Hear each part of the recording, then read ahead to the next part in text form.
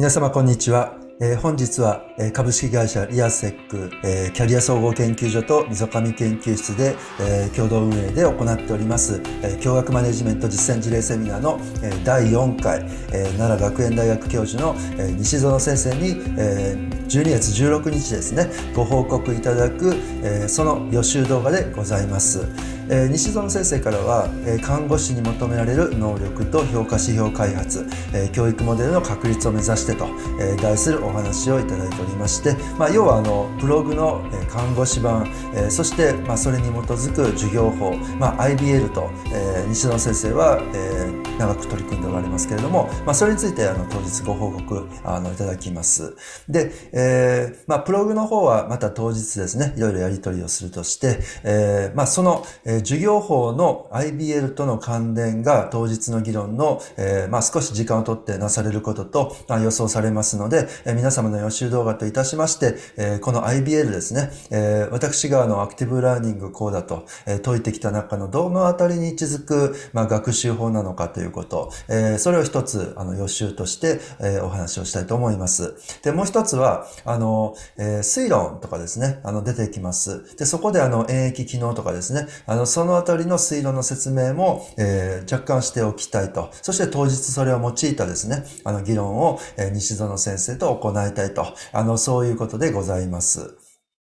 はい。で、西園先生からの事前のスライドをいただいておりまして、まあ、その1枚だけ、あの、お見せいたしますけれども、えー、これが、あの、インクワイアリーベーストラーニング、まあ、IBL と呼ばれるものですね。えー、問題発見探求型学習と、えー、訳されております。え数少ない不確かな情報から問題を発見する力をつける学習方法と。えまあ、IBL は、あの、PBL と非常に、あの、似ていてですね、まあ、共に、あの、医療系から出てきた、えまあ、ある観点を、え前に出した、まあ、学習法ということになりますね。はい。で、えっ、ー、と、私の、あの、アクティブラーニング論、アクティブラーニング型授業ですね。えー、ちょっとその話をして、えその上で IBL をですね、位置づけたいと思います。あの、アクティブラーニングっていうのはですね、えー、ここで伝統的授業、アクティブラーニング型授業とこう表で、あの、大ききく分けておりますけれども、えまあ、いろんな定義があってもですね、あの基本的には、あの、え講義で、え教師から学生へ一方向的な、まあ、知識伝達がなされる、まあ、講義ですね、いわゆる。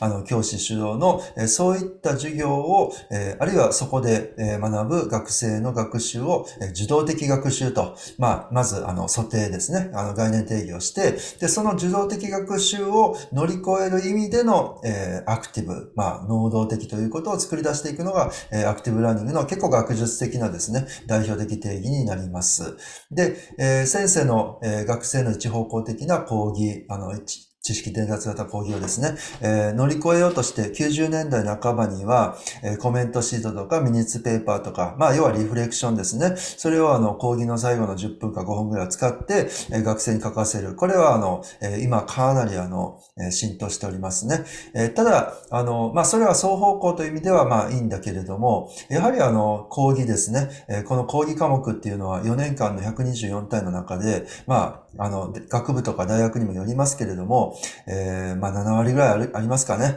えー、かなりの量を占めますので、で、またあの1、2年生の、えー、一般教育科目とか教育教育科目においては、もうかなりの割合を占めますので、やはりあの、えー、先生とその紙の上で、えー、振り返りやり取りするぐらいの授業では、えー、学生はもう受け身になりまくりですので、まあ、そういう意味ではですね、えー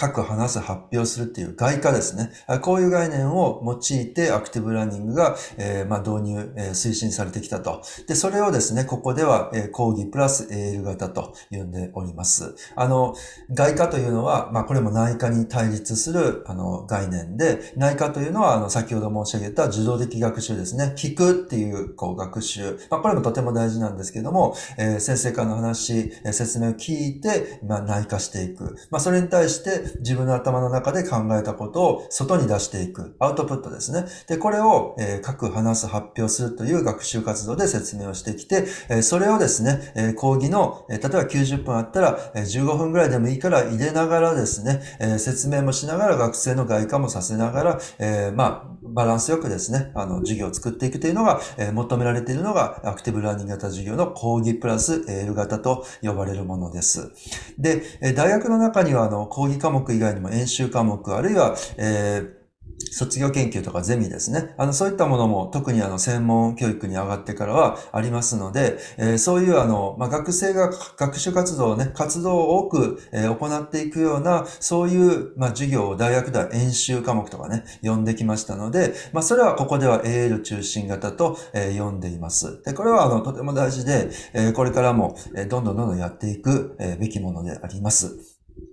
で、先ほどあの、アクティブラーニングっていう、まあ、定義ですね。これはあの、講義の、え受動的学習の対立項として、まあ、乗り越える形で、えー、提唱されてきた経緯がありますから、えー、大学教育でですね、アクティブラーニングの推進が求められるという時には、えー、ここで言う講義プラス AL 型ですね。え、講義科目の改革っていうのが、まあ、大きな、えー、主目的でありまして、演習やってるからいいよねとか、え、プロジェクト学習があるからいいよねとか、そういう話じゃないんですね。え、やはり4年年間の中で、えー、大多数といいますか、多くの時間を使っている講義科目の改変、えー、これがですね、えー、現代的なアクティブラーニング改革の、えー、目的になります。で、えー、右上に写真2つ載せております。えー右上の一番上の方の写真は、えー、これ300人ぐらいいますね。えー、まあ、こういうところでアクティブラーニングを少し入れながら講義をする。これはなかなか難しいですけれども、まあ、イメージの、こう、えー、まあ、象徴的なのはこういうものではないですかね。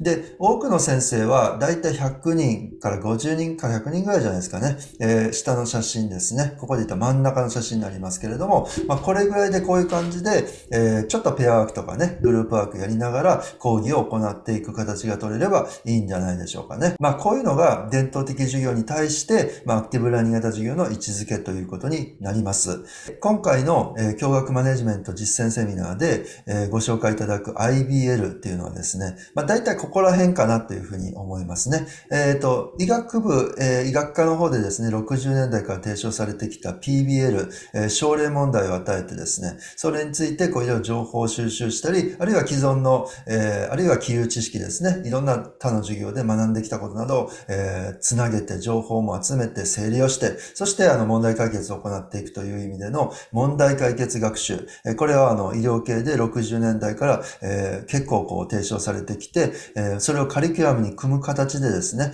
えー、例えば6年間の中で、えー、まあ、こう PBL を柱にしながら、あるいはあの講義科目のあの並走する科目として PBL というのを置きながらですね、結構カリキュラムベースで PBL を入れていくのが多いかと思いますけれども、えっ、と、多分 IBL もですね、え、看護の中で使われているものかもしれませんし、えー、医学科の方の、えー、コースでも IBL というのがあるかもしれませんけれども、えー、このあたりは、えー、当日、えー、西野先生にお伺いしたいと思いますが、まあ、それでもやはりあの、問題解決を中心とした、ああるいはあの、まあ、先ほどの西野先生のこのスライドから言ったですね、えー、数少ない不確かな情報から問題を発見する力ということですので、えー、そういう意味ではですね、えー、比較的あの、問題が与えられて、まあ、その問題の種類によって PBL とか IBL があるかもしれませんが、いずれにしてもあのグループでですね、え、その問題与えられたところからいろいろ情報収集したり推論したりしながら、え、まあ知識をいろいろいろいろこう、え、構造化していくと、え、考えをまとめていくと、そういう外化をですね、かなりこう促していく学習法であることは間違いないので、まああの、基本はあの、え少人数20人から30人ぐらいかもしれませんし、え、西野先生の話を聞いていると、あの、例えば、まあ、80人とかね、100人ぐらいの講義の中でも、えー、まあ、15回やったら2回、3回とかですね、えー、そういう形でこの IBL を入れながら、えー、講義をするということも、えー、なんか聞いたことありますので、まあ、基本的には AL 中心型に、こう、え、まあ、軸を置きながら、え、まあ、内容によってはこの講義プラス AL 型でも応用していくと、え、こういう形で、あの、位置づければいいんではないでしょうか。はい。えー、で、今、あの、アクティブラーニングのこう、説明をいたしましたけれども、えー、私のあの、ウェブサイトに、えー、この、えー、説明、まあ、文章で読みたいという方はですね、えー、右に QR コードも貼っておりますので、えー、ぜひ、まあ、学習の機会としてください。はい。で、西澤先生は赤澤、赤澤先生と、えっ、ー、と、この IBL で進める成人看護学演習法と、えー、こういうあの本を出されておりますので、えー、まあ、最近の本もあるかもしれませんけれども、えー、ご紹介しておきます。また当日ですね、情報アップデート、あの、しましょう。で、えー、もう一つあの予習の内容としてですね、えー、西園先生の、えー、まあ、お話の中に、えこの左下のところにあの先ほどのスライドを載せておりますけれども、真ん中ちょっと下にですね、推論、論証力を高めると、あの、こういう言葉がありますね。で、この推論っていうのは、えっと、思考の一つなんですけれども、えやはりあの問題が与えられていろいろ考えるって言うんだけれども、これは思考の話なんですね。で、えっと、推論っていうのは思考の中でも代表的なものので、当日、えっ、ー、と、これをもとに少し議論したいなと思っているので、皆さんに、あの、本当簡単なイントロダクションですけれども、えー、思考の、えー、まあ、種類をですね、いろいろ紹介しながら、えー、この、えー、演疫とか機能の位置をですね、あの、確認していただこうかなとか思います。で、あの、思考っていうのはですね、特にあの、合理的思考とか、あの、そういう形でですね、ギリシャ以来2000年の歴史がございますけれども、まあ、近年はあの、えー、認知科学の中で、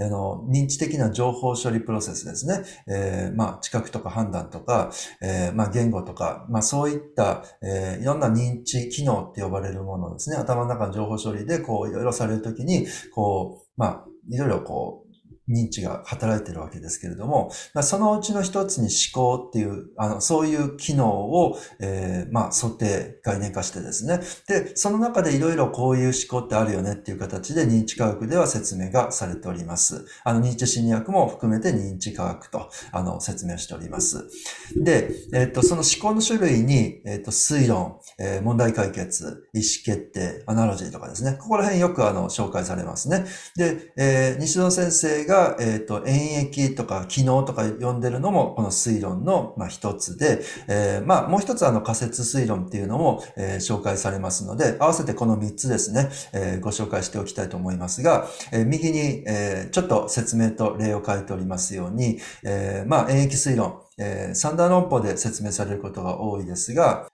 え利用可能な情報から論理形式に基づいて結論を導く推論であると。えー、まあ前提ね、大きく二つあって結論、えー、成り立ちますかと。すべての人間は死ぬ。え、ソクラテスは人間である。えー、故にソクラテスは死ぬと。え、こういう P から Q への、まあ、条件的な、え、思考、推論がですね、え、成り立つかどうかっていうことを、まあ、考えるときに、あの、よくね、演疫って使われますね。あの、演疫推論っていうのは結構、あの、まあ、言ってみたら、えっ、と、情報同士をつなぎなながら、えー、ちゃんと論理が成り立ってるかとかね、あの、そういうことを、えー、問う、まあ、推論形式ですから、まあ、私たち、あの、学者の中で、えー、いろいろあの、概念をですね、つなぎながら、えー、こういうことがあって、こういうことがあって、で、あの、こう言えるだろう、みたいなね、そういう説明結構いたしますけれども、あの、それはもう、あの、かなり演疫推論っていうことが言えて、まあ、言ってみたら学術的な議論のほとんどは演疫推論って言ったってですね、あの、言い過ぎではないぐらいです。で、もう一つ、あの、機能推論っていうのは、えー、まあそういう、あの、まあ学術で言えばですね、えー、例えばあの、データを収集する、例えば実験とか、アンケートとか、